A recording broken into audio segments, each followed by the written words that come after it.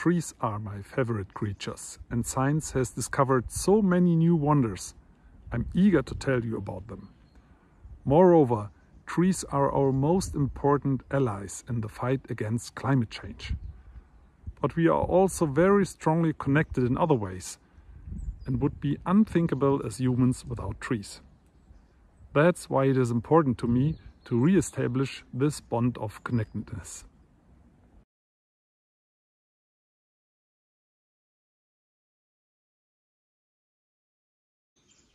It's probably our genes that link us so strongly to trees.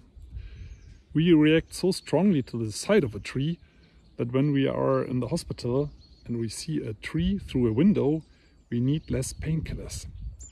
In addition, our blood pressure decreases when we walk in the forest.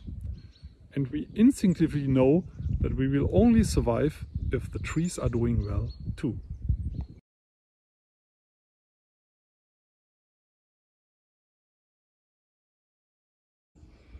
In addition to our health, it's primarily the climate that trees take care of.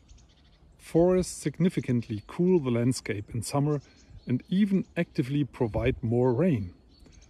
Isn't it drought and heat that we worry about increasing? Trees have the solution and help us, but only as long as we let forests grow undisturbed.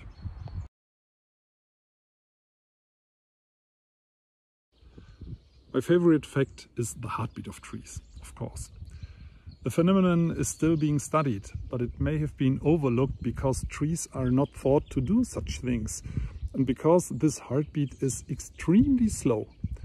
Until today, it was not known how trees can pump water from the roots to the crown.